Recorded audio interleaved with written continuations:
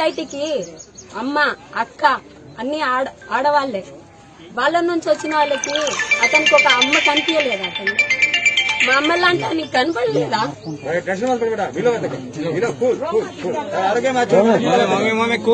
మా చెల్లికి న్యాయం జరగాలంటే ఉరి శిక్ష వేయాలి. లేదా అతన్ని మా ముందుకు తీసుకురా అండి.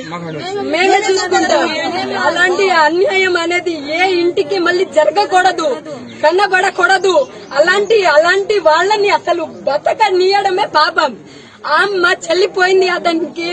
అతని గురి శిక్ష వేస్తే ఏంటంటే మా చెల్లిని చంపినప్పుడు తెలియలేదా? అతనికి ఒక చెల్లి ఉంది అని కనబడలేదా మా చెల్లి అంత పాపం చేసింది అతన్ని? ఏ ఉద్దేశంతో అట్లా చేసిండు? అదేమొద్దు ఉరి శిక్ష అనేదే కావాలి. ఏ న్యాయం వద్దు? ఏ జైలు శిక్ష వద్దు? అలాంటి వాళ్ళని తిండి పెట్టి బతికేయడం కూడా నష్టమే. అత్త బాడీ అతనికి పాడా. అతనికి ఇది చున్ని ఇది కాంటా ఉన్నాయి అక్కడ ఉండి. ఇక్కడ బాడీ ఉంది. ఇక్కడ నుండి వాళ్ళిద్దరు తీసుకొచ్చారు. చెప్పులు? చెప్పులు పైన బ్లడ్ కూడా పైన మాస్క్ అక్కడ ఉంది. మొత్తం నిన్న సార్ వాళ్ళు వచ్చి రిపేర్ చేశారు. మొత్తం ఆల్రెడీ పైన తడిచిపోయింది. పైన తడిచిపోయింది ఆడ ఆడ నుంచి ఆటోలు వేస్తుంటే అప్పుడు డౌట్ వచ్చింది. ఇది ఖచ్చితంగా ఎవరు చంపిన కేసే ఇది. అమ్మాయి కళ్ళు తిరిగిన పరిస్థితి కాదనేసి ఇక మేము అందరం అనుకొని తీసుకొచ్చి మళ్ళీ ఆటోలు వేసుకొచ్చి పెట్రోల్ బంక్ దగ్గర ఆపి కేసు పెట్టింది. కేసు పెట్టిన తర్వాత అసలు ఏం జరిగింది ఏందనేది ఆ పిల్లగాడు అడిగినాం. అయితే నాకేం తెలియదు అన్నాడు. తర్వాత వచ్చేసి ఇక కేసు పెడితే ఇక తర్వాత పిల్లగానికి ఏం బెదిరించారో ఇక అడిగారు అడిగినప్పుడు ఏమైనా చెప్పినట్టుంది. ఇక అట్లా వచ్చినాం సడన్ ఏమైనా ఉందనుకో ఇట్లా ఇట్లా ఇట్లా వస్తే ఇక ఇన్ఫర్మేషన్ తీసుకుంటే అట్లా పోయిన పైకి ఇక. అసలు ఏం జరిగిందంటే. తర్వాత తెలిసింది ఇక ఎట్లా జరిగిందని అబ్బాయి మీకు బాడీ హ్యాండ్ ఓవర్ చేసినాక అబ్బాయి మీతో ఉన్నాడా? అబ్స్కాండ్ అయిందా? అక్కడ జైన్ చేసిందాక అబ్బాయి మాత్రమే ఉన్నాడు. సీను అనే వ్యక్తి వాడు కూడా ఉన్నాడు. రాజేష్ కూడా ఉన్నాడు. రాజేష్ ఉన్నాడు. తర్వాత చచ్చిపోయిన రాజేష్ జైన్ దగ్గర చచ్చిపోయింది అనుకున్న వాళ్ళు ఇక. మాయమైన మనిషి. సీను మాత్రం మన మనతో సీన్ మనతోనే ఉన్నాడు.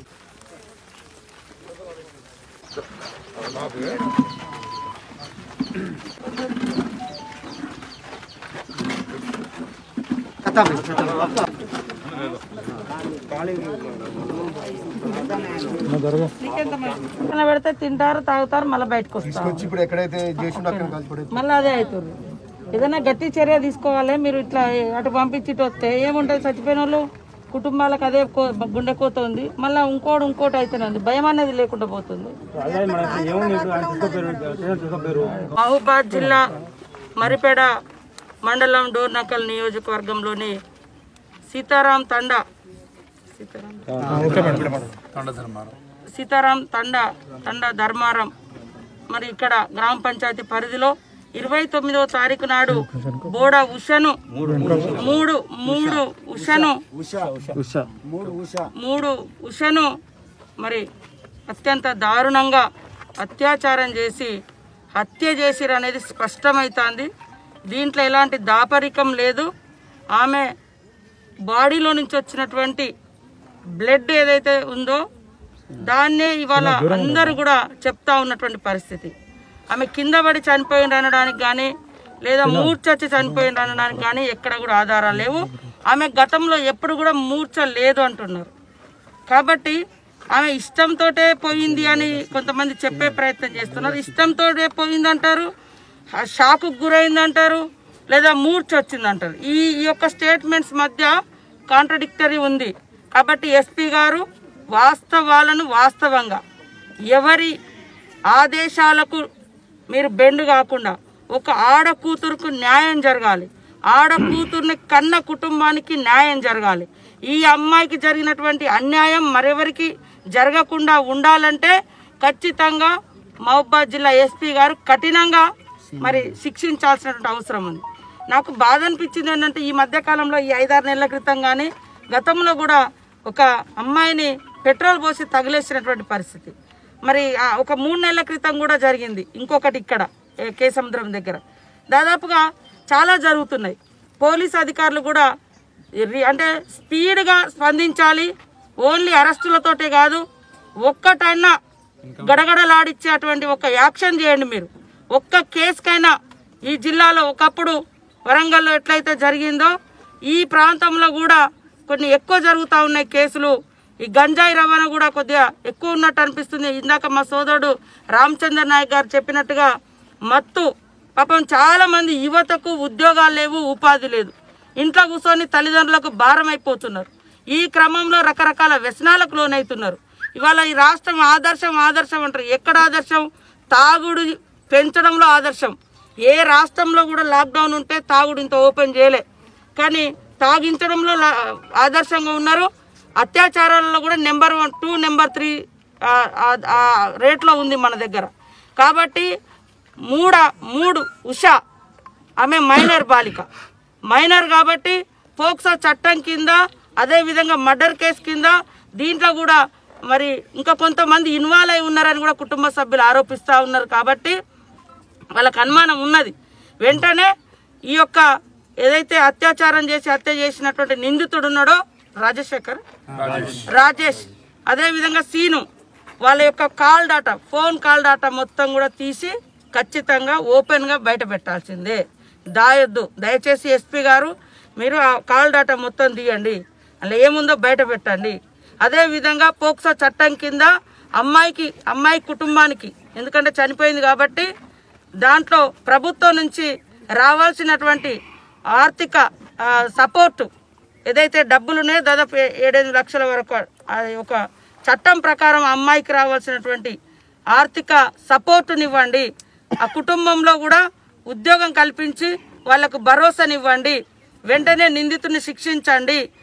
ఎవరైనా కూడా దయచేసి ఆడవాళ్ళ అత్యాచారాల కాడ అమ్మాయిలను అత్యాచారం చేసి చంపిన కాడ రాజకీయాలు అధికారం అడ్డం పెట్టి దోషులను కాపాడే ప్రయత్నం ఎక్కడా చేయకూడదు. ఎందుకంటే ప్రతి ఈ సమాజంలో ఈ సమాజం ఉందంటే ఆడవాళ్ళు. కనేది తల్లి. ఈ సృష్టికి మూలం తల్లి. ఈ తల్లి మీద జరుగుతున్నటువంటి ఈ దుర్మార్గాలకు ఎక్కడో అక్కడ అంతం పలకాలి. అందుకనే మేము దిశ అప్పుడు కూడా నేను ఒకటే డిమాండ్ చేసిన. సరే సజ్జనార్ గారు వారు స్పందించారు కొంత తగ్గుముఖం పట్టింది. మళ్ళీ పెరిగిపోతా ఉంది. కాబట్టి తరగతి గదులలో ఆడవాళ్ళను గ- గౌరవించే విద్యను బో- బోధించండి. శిక్షను ఖరారు చేయండి. ఇమీడియట్గా స్పందించండి. ఎందుకంటే వెంటనే జ్యుడిషియల్ ఎంక్వైరీ చేసి స్పీడ్గా మరి ఫాస్ట్ ట్రాక్ కోర్టుల ద్వారా శిక్షించాలి. ఈడ నేరం చేస్తే పోయి జైల్లో పెడితే మంచిగా తింటారు తిరుగుతారు మళ్ళీ వచ్చి మళ్ళీ ఇంకొక నేరం. ఏ ఏం కాదు నేను జైలుకు పోయినా నాలుగు రోజులకు మళ్ళీ వస్తా అనేది వస్తా ఉంది. ఇది కాదు.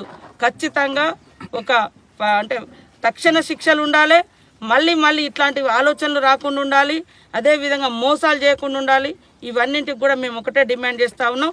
ఫాస్ట్ ట్రాక్ కోర్టు ద్వారా లేదా ఇంకేదైనా యాక్షన్ తీసుకున్నా పర్వాలేదు. వెంటనే ఇట్లాంటి ఘటనలకు పులి స్టాప్ పెట్టాలని కూడా మేము కోరుతా ఉన్నాం. అమ్మాయి కుటుంబాన్ని ఆదుకోవాలి ఉద్యోగం ఇవ్వాలి. పోక్సో చట్టం కింద రావాల్సినటువంటి అన్ని ఏదైతే వాళ్ళకు ఆర్థిక సపోర్ట్ ఉందో ఎక్స్పీరియన్స్ అంటే ఇక మేము చంపిపోయిన తర్వాత ఇది అనడానికి కూడా మాకు నోరు వస్తలేదు. వాళ్ళ కుటుంబాన్ని ఆదుకోవాలి. మంత్రి గారు కూడా వెంటనే స్పందించాలి. ఇక్కడికి వచ్చి వాళ్ళకు ఒక భరోసా ఇవ్వండి. వాళ్ళు ఎందుకంటే పాపం కుటుంబం. ఒక అమ్మాయి చనిపోయిందంటే పక్కనే తాత చచ్చిపోయింది హార్ట్ అటాక్ అంటే భయపడి. అయ్యో ఎవరు చనిపోయారు అనేటువంటి. ఇద్దరు ఈ మూడు ఇళ్ళలో ఇద్దరు చనిపోయారు ఇప్పుడు ఈ రెండు రోజులలో చాలా బాధతోట ఉన్నారు కాబట్టి అందరూ స్పందించాలి. ఈరోజు నాకు చెప్పగానే మా సోదరుడు రామచంద్ర నాయక్ గారు మరి స్వామి గారు ఇంకా సోదరులందరూ కూడా ఇక్కడ రావడం జరిగింది. పత్రికా ఎలక్ట్రానిక్ మీడియా సోదరులకు నమస్కారం. మీరందరూ కూడా యాక్టివ్గా ఉంటా ఉన్నారు. ఇట్లాంటి ఘటనలు ఎప్పటికప్పుడు బయటికి తీసి ఎవరన్నా మభ్యపెట్టి కప్పిపుచ్చుదామనే ప్రయత్నం చేసినా మీరు తీస్తూ ఉన్నారు తీస్తున్నందుకు అభినందనలు. కానీ ఇందులో గ్యాంగ్ ఉన్నది అనేది డౌట్ ఉంది మాకు. అంటే కుటుంబానికి అనుమానం ఉంది.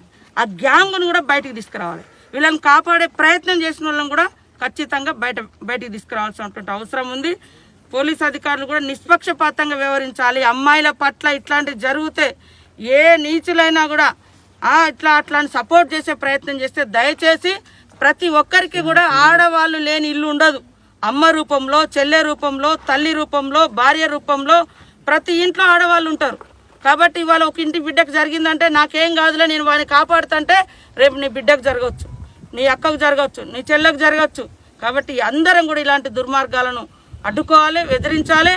ప్రభుత్వం కూడా ముఖ్యమంత్రి గారు మీరు కేవలము ఆడవాళ్ళని గౌరవిస్తున్నాం అనే మాట కాదు ఇట్లాంటి కేసులలో వెంటనే స్పందించి కఠినంగా శిక్షించి మరొకరు కూడా ఇలాంటి చేయకుండా దా- కఠినంగా ఉండాలని ప్రభుత్వానికి మేము కోరుతా ఉన్నాం.